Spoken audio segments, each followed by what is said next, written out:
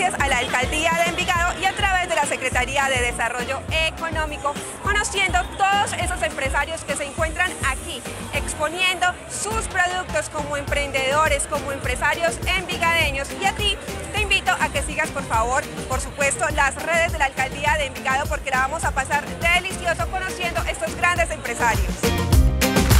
Hola, ¿qué tal? Me encuentro feliz, por supuesto, en el primer día de Colombia Moda esta gran experiencia tan bonita y cómo el municipio de Envigado le, le está apostando a la economía naranja y con esos empresarios tan grandes, tan bonitos. Me encuentro en este momento en el sector de marroquinería y con Henry Rodríguez. Henry, qué rico tenerte aquí.